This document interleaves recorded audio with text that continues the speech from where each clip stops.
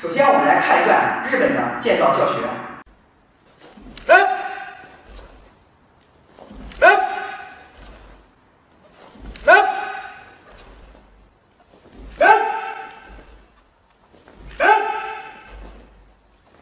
中华武术源远流长，在冷兵器，特别是短兵器中里，分为两大类。第一类是双手持握，例如刀法；另一类是单手持握，例如剑法。那么刀法呢，就跟现今的日本剑道啊，双手持握的进行对抗的一种比赛，是风格比较接近。这两者之间有较多的借鉴的关系。单手持握类的，类似于啊中国的剑术。那么这种风格就跟击剑有相似之处，因此我们这个教学会通过这两个的对比，来阐述一下目前中国冷兵器的一些技术特点。欢迎关注我的微信公众号“实用形意拳”，加屏幕下方微信，进入形意拳学习群。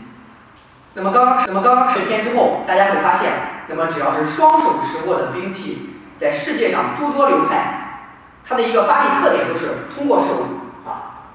手臂的屈伸获得一个距离，然后下劈啊，这一点是与形意拳刀术的击击风格啊所不同的。首先，形意拳的刀术讲究刀尽量的不动，通过身体完成劈砍的动作。如果我们都以下劈这个动作为例进行阐述的话，那么日本剑道双手高举获得距离，双手高双手高获得一个做功的距离。而如果同样是一个下劈的动作，按照形意拳的劈刀这样一个动作是这样，没有上抬，身体往前扑，是这样的一个动作，两者之间有一个细微的对比。那么按照形意刀的这种思路的话，如果双手上抬，在一瞬间会被敌人攻击进来，有可能你会杀伤对方，但是这一瞬间有可能自己也会受伤。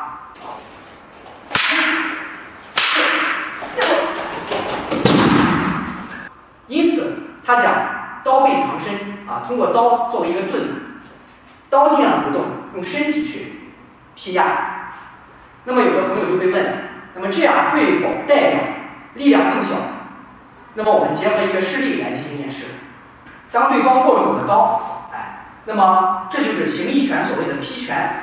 如果我们采取我们采取劈的方式，是劈不下去的。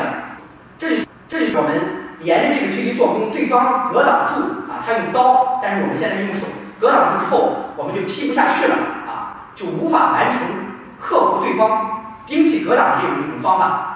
但是呢，按照形意拳的一种劈拳或者劈刀的发力，它是用身体啊，刀尽量不动，身体去碾压，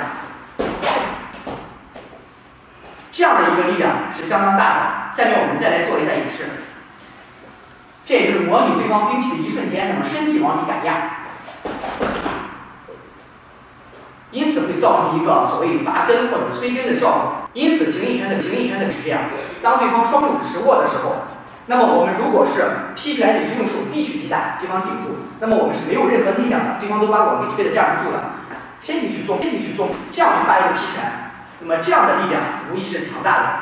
因此，我们反观者反观者世界上双手持握兵器的一种格斗技术，那么统统一的都是那么手上抬下劈。啊，通过距离产生一个做功啊，如果没有这一块的距离，刀上去到刀落下之间，那么它是很，那么它是很的。那么按照中国武术内家拳啊，特别形意拳的刀法要求的话，是刀不动，它是一种新的思路，刀不动，用身体去起钻落翻啊，去做这样的一种杀伤性的效果。因此，这种思路是跟国外的这种冷兵格斗是不一样的。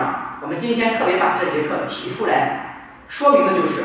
那么传统的形意拳的刀法，双手持握的刀法，与世界上诸多流派是有一定的区别的。